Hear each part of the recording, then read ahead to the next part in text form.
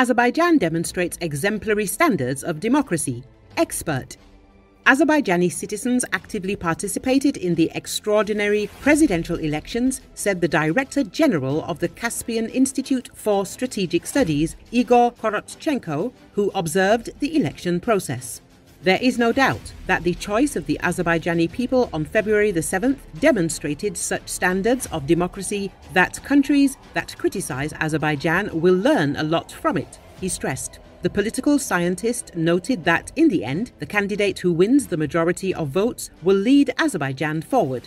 Korotchenko emphasized that Azerbaijani society in general understands the logic of the political events taking place and the ongoing processes. Another factor of voter activity is that for the first time in Azerbaijan, extraordinary presidential elections are held in conditions where the country's territorial integrity and sovereignty are restored and in all regions.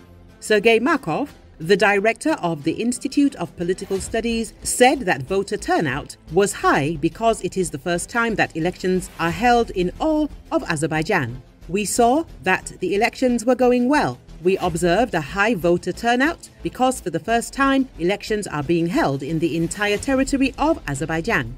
People were more than expressing their support for the great victory of the Azerbaijani people. They were satisfied. The people expressed their joy and support for this great victory, he said.